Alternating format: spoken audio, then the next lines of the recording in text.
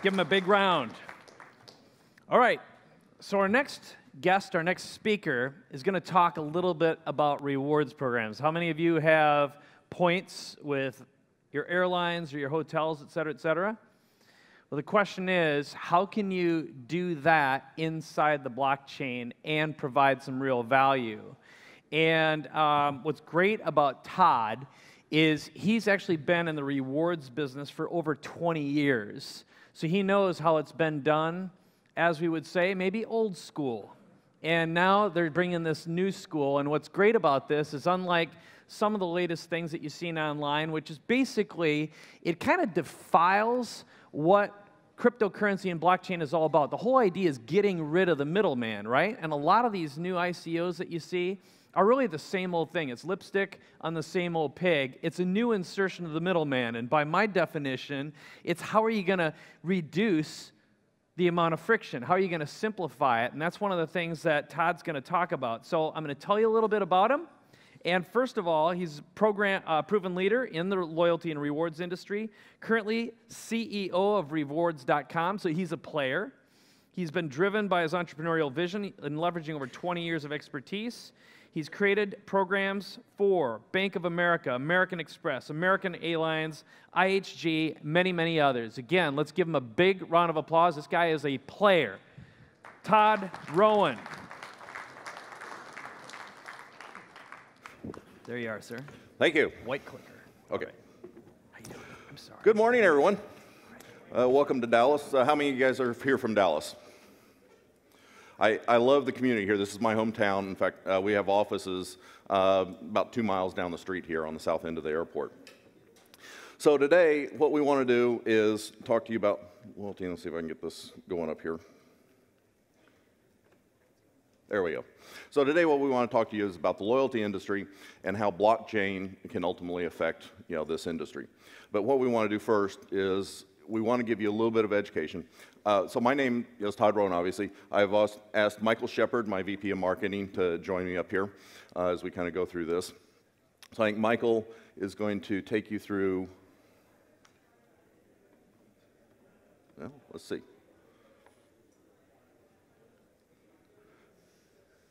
There we go. All right, got to figure out the buttons down here. So we're going to go through a little bit of the history of loyalty programs, how they got started, and where they originated from. So, do you want to pick that one? Absolutely. Thanks, Todd. So, uh, you know, I know when you heard about the topic today, loyalty, you kind of got a, a, shiver down your spine because it's just that exciting of a topic, right? I mean, it's just really exciting. It's something you really want to talk about. You talk about it at the gym with you and the guys while you're working out. You know, it's that exciting of a thing. You know, it's not. It's not exciting. It's not. You know, for me, I actually. I am I'm, I'm pretty excited about it. Uh, Todd's excited about it. I have. A, I personally have like a love-hate relationship with it. You know, because I, I feel like you know I. Uh, you know, there's so many opportunities out there. It's, it's almost like a unicorn, right? Like I know they're out there. I want to try and find one, but I, I, and I think I find it, but as soon as I get close, it's, it's gone. You know, it's not there. It's not really. Uh, it's like a, like a jackalope kind of a thing. Um, so out of, out of curiosity, how many people do have loyalty programs? Be honest. I mean, raise your hand. Any, who's got a loyalty program? Any kind. So if you look around, I mean, it's almost everyone in here, you know. And if you didn't raise your hand, you're you're a liar. And fortunately, you're it's Sunday in Texas, so there's like a thousand churches within like 13 feet of this building. So you know, after this, just go out and find one and get some forgiveness on that. But truly, I mean, it, it seriously, it, it, programs are everywhere in every industry. They they cross you know medical, they cross travel, uh, you name it, they're in those industries. And, and not only that, you know, they, they've been around forever. They've been around for over almost 200 years, over 200 years. Yes. Um, it, it's unbelievable. And, you know, the first one actually started back in 1793, I think, 1793. Um, you know, this little little shop owner opened up a shop, and uh, he was trying to drive traffic. You know, he tried different things, kind of like us. You know, starting a business, startup. He's trying to, to really make a name for himself.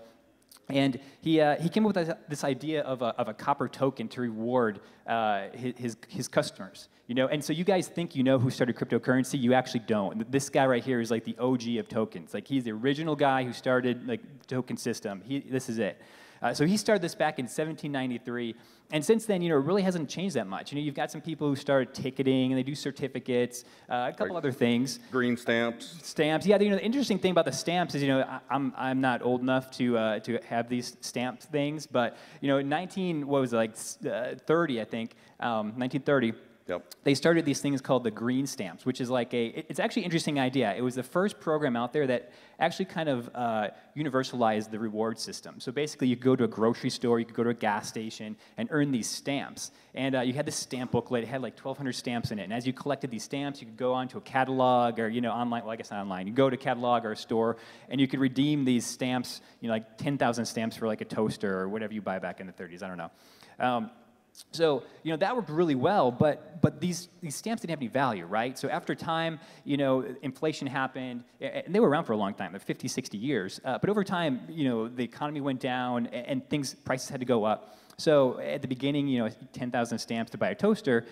After a few years, you had to have 100,000 stamps to buy a toaster. And so the the value of the stamps was not based on anything real. It was just fictitious. And so to, to be competitive, they had to add more stamps, adjust the programs.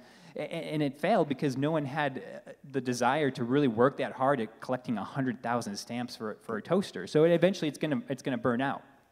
Um, you know, and, and like the other thing, you know, in 1980, I think airlines started their first mile program, which, you know, I thought they'd been around for a lot longer than that, but 1980 was the first time they started. And so, you know, quickly after that, you know, other people jumped on. But, you know, as you can see, Well, I- really know, I remember, the same thing. So on, on the airlines, American Yeah. Airlines, I love, and you know they've been one of our partners for many years. Uh, but uh, you know them, I remember, you know, back in the day, it's was when they first came out, it was 25,000 miles anywhere in the U.S. Right? Yep. You know, Yep. Now today, you know, I go look at something, and it's, you know, if I can get a seat for 25,000 miles. Or 30 or 40 or 50 to get somewhere in the U.S. now. You know, they put a fee on top of it. You know, it's it, it's devalued that currency since it originated Yeah. tremendously. Yeah, you, you know, I don't fly enough, so I actually just end up paying for the miles. You know, they give me the option to buy an extra 10,000 miles, so I just pay for them because, you know, I really want, you know, I want to sit in the, the, the, groundling section. I want to sit Right. in the Admiral's Club, so it's worth it because I will Yeah. never get 100,000 miles. As much as I want to be a millionaire or a million mile club member, uh, I'll, I'll just, I'll You just never get it. flying. You do, you do, and I'm not that, I'm not that cool yet. Uh, so you know, like I said, I mean, nothing really has changed over the 200 years of loyalty. Like they've really been consistently the same, and it's uh, it's interesting. So Todd, you know, can, can you explain to us kind of about loyalty, just kind of the where it is right now, Well, where it's s- I going? mean, the loyalty industry, you know, it's been growing year over year. Uh, you know, we have an annual rate year over year of 23% of growth. So everybody's engaging these programs. There's a lot of programs out in the market. 85% or 84% of all businesses have some type of rewards loyalty program. They've got a point program, a bonus program, a perk program, whatever they want to call it. It's, to me, it's a digital currency that's centrally managed. So, uh, you know, 85% of consumers are participating, you know, in loyalty programs. There's estimated, there's no really good statistics currently in the US uh, for how many points are distributed every year. It's kind of hard to get our hands around it. But the last statistic and survey that I've caught was about $78 billion worth of points are distributed every year. Worldwide, uh, kind of extrapolating, you know, consumer engagement and stuff, you know, it's 300 to 500 billion dollars. It's a big industry. There's a lot of points going out there.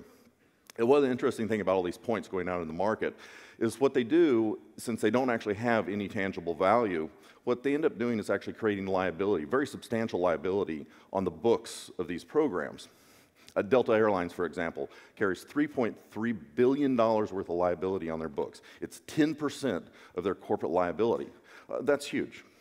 So imagine if we can get to a point to where we can start reducing some of that liability, what it does to profitability for them. So, you know, today, you know, we, in the U.S., there is three, three point, uh, we say 3.3 billion, dollar, 3.3 billion consumer registrations up there. Uh, the last statistic I just saw uh, yesterday out of the colloquy report, it was 3.8 billion now. So if you think about that, the U.S. is only what uh, 325 million people. That's almost that's over 10 registrations for every man, woman, child, and baby in the U.S. I mean, that's a lot of your data going out, you know, to these marketers. So that statistic is really, you know, an average of uh, 29 loyalty programs, you know, per household, is where it is. so, so Todd, how many? uh, You know, you you are a, a, loyalty ninja, kind of like a Jedi of you know loyalty. I So- like loyalty programs. But Yes. Yeah, I, I would think so. I would think so. How many do you have? You know, I know I've got far more than 30. How many, how many do you have? Well, you know, I, I like loyalty programs. I sign up for them all the time. And, uh, You know, I, I get, you know, I'm probably about average, I guess, in the consumer market. You know, I, I don't really know how many I have. Well, I haven't counted them up lately, let's say that. Okay, okay. So, uh, you know, someone like me or people like here who, d- here who don't really, you know, uh, they're not experts in uh, managing loyalty. How do you manage it? Like, what's the best way to, to, to track all Oh, it- those it- things? It's real simple. I, actually, I, I, keep them right here. Um, All right, Nice, let's see. nice. Uh, okay, so I've got some Advantage miles. I got some Delta miles. I got some Priority Club. I got an Executive Club. I got some Star Rewards. I kind of like them. Uh, I got some Rapid Rewards. I got some uh, membership rewards. I got some balance rewards, some total rewards, some Papa points, my points, gold points, plenty points, race points. I love NASCAR. Uh, I got some Kohl's rewards, some five star. Oh, uh, you know what, Michael? Uh, yes, last, yesterday I was real excited. I went to lunch and I got El Taco. I need to write them down here. So I got some El Taco points, uh, or actually they're beans, they call them. So I think I got 50.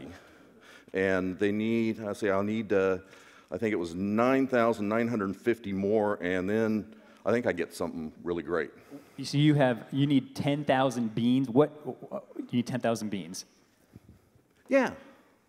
10 10,000 beans. That's, that's a ton Uh, of well, beans. Then, then I'm, that's a ton I, of beans. I'm, I'm going to get, well, I, I'm, you know, well, I'm going to get, I, I guess I get a burrito or something, but I, it's, it's a lot of beans, but you know what they say, it's, you know, magical fruit. Uh, dad jokes, dad jokes, gotta love them. So, what, uh, what are you gonna do with those beans? Would you ever actually use anything? Like, what can you actually collect? I mean, all those ro- loyalty, uh, loyalty programs, like, what, give me an example of like something you've actually gotten Well, okay, tangible so from all that uh, a, stuff. re- a real good example. So last week, uh, I had a meeting up in Denver, and I was able to get a flight about 6 a.m. out on Tuesday. So my meeting was Wednesday at 1 o'clock. I got myself a flight out at 6 a.m. on Tuesday, and a return flight uh, I got uh, I think at 9 a.m. coming back on or 9 p.m. you know coming back on Thursday. So you know it was really great. I got to use my miles. I was very excited about that. Okay, so that's you, three days. You're, you're in Denver for three days, back-to-back meetings. It was it was great. You know, Well, no, the meeting was only an hour. Um, you know, up there just meet with a client, but you know, I wanted to use my miles. I could have gotten a round trip ticket for about three hundred and fifty dollars, but I, I really wanted to use those airline miles. uh, yeah. So that doesn't seem like a great deal. I mean, for 350 bucks, you wasted three days. Well, no, actually, it turned out really good, and I was really excited about it because I got two extra days of hotel points. Oh, makes it worth it. Yeah, it was awesome. What can you say to that? What can you say to that? All right, in all seriousness, guys, if I can get my slides going forward here. All right, let's see. So with all these great things, I mean, we've got a ton of, of, of market share. You know, look at, I mean, like Todd said, it's just, it's unbelievable how much uh, just growth that's experienced over the years. Um, you know, but despite all these, all this growth and all this potential, you know, there's a ton of problems that go along with, with, uh, with loyalty. What are some of those, those problems that, you know, kind of are, are common problems with co- consumers and businesses and, and things like that? Well, en- engagement is always an issue, uh, you know, with reward programs. So it's engagement, it's the, you know, consumer privacy issues. There's a lot more consumer privacy laws coming out and affecting loyalty and reward pri- programs now. Uh, we hit a little bit, you know, on the financial, you know, liabilities side of things and the financial liabilities that these programs assume. And then also administrative costs. Our administrative cost, in these programs keep rising. It keeps rising from a marketing standpoint, an engagement standpoint. And you know, really what's crazy is this list that I pulled out here, this actually isn't a fake list of programs. This is a, actually a very small list of the US programs that are in the market. Uh, so there's programs everywhere. Everybody's using them. Everybody's, every business is investing in them. Because rewards do work, at least for some businesses. But think about these rewards if we, we can put real value into these. Yeah, so you know, like Todd said, they, they, they do work, and that's why they're so popular. Right? Everyone uses them, but there's also such a huge breakage between uh, the potential of what they really could bring. I mean, you can see from this this slide, you know, 53% of people back out of a reward program because it's not giving them what they want. You know, you, you earn all these points, and you end up getting something that's completely useless to you. Uh, other people back out because it takes too long to earn points. You know, it takes, um, you know, like the stamp, the green stamps. It took you know 100,000 points to earn a toaster. That's not valuable. That's not useful. No one's going to stick around for uh, that long to earn something that has such such little intrinsic value um, in the in the market. Um, So some other problems, you know, like Todd mentioned, you know, financial liability, that's a huge, huge thing for corporations. You know, that's no company wants to carry that kind of balance on the books. Um, and, you know, companies are always trying to expire points, always trying to find ways, loopholes so that you can't use your points. You know, it's interesting because companies don't want you to use points. They, they want you to earn points, they don't want you to redeem points, right? Right. Common sense. So, you know, they're always trying to find ways to burn up your points and make it really difficult for you to consume them. Yeah, I- I- one of the biggest conversations that I ha- always had with my airline partners is we're going in and talking about a new program uh, to set up, you know, a new earnings program or redemption program. I- would always thought they want more consumers, you know, more consumers to come into the market. Uh, they didn't want consumers. What they really want to talk about is breakage. How do we generate more breakage? So we come up with expiration periods, blackout periods. For, for those of us who aren't uh, uh, loyalty nerds, what's breakage actually mean? So breakage, breakage essentially means is, as a program, I'm going to give you points, send you out in the market with it. But what the last thing I really want to do is bring those points back in. I really don't want you to redeem them because then I could have sold a seat, but I got to give you, you know, put you in it, or I could have sold that hotel hotel room. So you know, I got to give you a hotel room. So we create these blocks and periods. You know, we create blackout periods. We look at when you know the uh, the census is low for you know the flight. We can't get all the seats filled, so those are when we're going to give you blocks of times to you know redeem your tickets. You know those are blackout periods. So it's really about you know since that currency doesn't have any value, that point does not have any value wherever it goes out in the world, and it comes back with no value, but it does carry liability. So the other problem is consumer privacy, right? Everyone's got a big concern with that. You know, no matter where you turn on the TV, there's always someone complaining about privacy. And loyalty has a huge, huge issue and, and a hole, a, a breach that um, opens up when you start using loyalty programs, uh, which a lot of people don't think of. You know, Norton actually said a statement. You know, many people don't think twice about before signing up for a loyalty rewards program. Um, and you can even lump gamification into that because it's ultimately the same thing. But uh, there's a lot of recent concern about loyalty cards and privacy because you know what people do, what, what hackers do, is they'll, they'll scan databases and they'll get components of your information. And as they get different pieces and components, they can then build a fuller profile of, of, your, of, of you and use that information to, you know, I'd use identity theft, uh, data collection, that kind of thing. And before you know it, your, you know, your, your identity is ruined because you've signed up for a thousand cards, given them information. You know, you don't know, you know, Subway, are they secure? Is, is mom's yogurt shop down the street secure? How they're storing your information? So it's a real, real big concern for, for data security and data Yep. breaching. Uh, the next one is administrative costs. You know, that's obviously huge, uh, especially for a big company like American Airlines or something like that, where they have to have just departments dedicated to membership management, vendor management, um, overhead costs, marketing these these benefits, um, and then managing all the complaints of people that come in. I mean, just the management of, of complaints the- alone has got to be just over oh, the top. It, it absolutely is. And your redemption cost, everything. Yeah, yeah, exactly. So, I mean, all these problems, you know, there's tons of benefit. All these problems, where do you go? I mean, can, is there a solution out there that, that's available that can kind of weigh out the, the pros and the cons of the kind of current traditional loyalty programs? Well, uh, we hope so. So the blockchain and uh, blockchain technology and cryptocurrency technology possibly can have a great solution for us. So we know, and we're talking about in the industry a lot about protecting privacy, protecting consumer data. So we can help out the industry in how to protect that consumer data, uh, comply with the new regulations and stuff that are coming along. Administrative costs. We can reduce administrative costs by creating a blockchain protocol where a program can tether in, take care of a lot of the administrative costs of account management, you know, marketing management, et cetera, and being able to access a broader base of consumers. Financial liability, by instilling real value into the currency, that currency then comes back to you actually as an asset. It's not a liability, you know, to you anymore. And consumer engagements. I, you know, I had my trip, you know, here to, to London uh, a few, uh, last month. You know, I earned 4,700 miles. Well, the cost basis for the airline on a point, for every point that they put out, is about 0.0085. So, I mean, that's roughly about $63 or so in points. So, what would I rather have as a consumer? Do I want the 4,700 miles, which I gotta get at least to 25,000 before I can get a flight, if I can get the flight, or do I want the $63 that becomes more fungible for me? I can use back with that airline, or I can choose to use it at another partner that may be in that airline's network. So, putting value into that and removing that financial liability is, you know, critical to some of these programs administrative cost.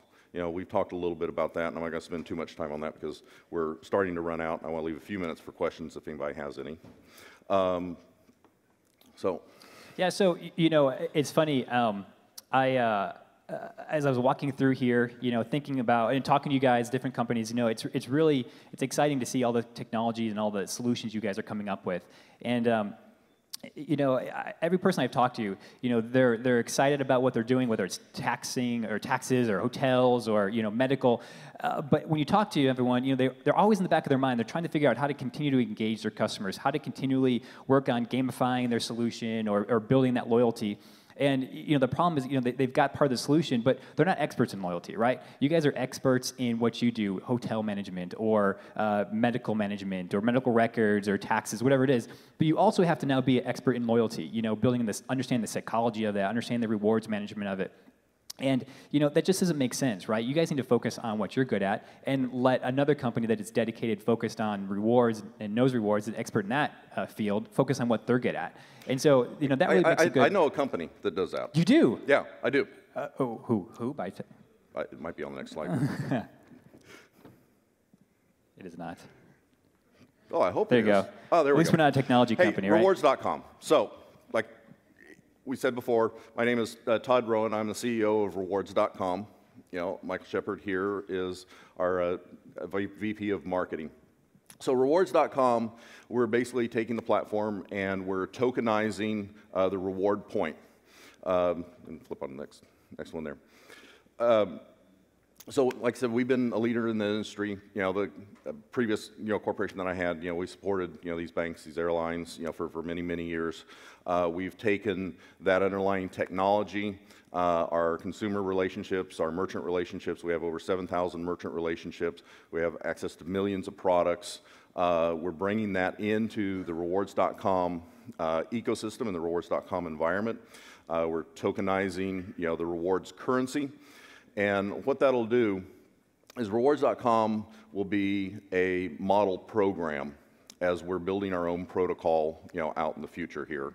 And that protocol will be able to help and support loyalty programs so the loyalty programs can come in and white label their currency to that root protocol and take advantage of some of the things that we talked about of privacy, uh, financial management, account management, uh, marketing management. So what you're saying is you're, we're building a platform, an ecosystem, and Rewards.com is the first participant of that ecosystem. It, it, it is the first partic- participant of that ecosystem. So we're currently entering our private sale. Uh, you know, we have, it's for U.S. accredited investors. It's uh, unfortunately one of the few opportunities for U.S. citizens to participate at this stage and take advantage of a substantial discount. Uh, we'll have a public sale that'll take place to international uh, investors uh, starting about April 15th. And then the new rewards.com market, global marketplace will launch in the US uh, here in June. And in that, once that program is actually launched, there will be you know, a short promotional period you know, that you can come in and buy your uh, rewards currency, uh, just like you go buy your airline points or uh, any other your hotel points to you know, top off your account to use within the redemption. So within our ecosystem, like I said, we have thousands of merchants. Uh, you know, we send you off to Macy's to shop to you know buy a pair of shoes. Uh, Macy's will fund us about five you know five percent of that purchase. So if you spend hundred dollars, you know we'll get about five dollars you know that comes back. We'll turn that into your cryptocurrency by buying your currency back off of the marketplace, and you can take that back into our system and redeem it at one of our other merchant partners. Take it out for gift cards or products. Uh, take it out to Chili's uh, with our mobile app that'll be out here in June, uh, and you know redeem it there, uh, or you can experience you know the exchange and go out and trade it you know for your your Bitcoin or your Litecoin or whatever cryptocurrency you like.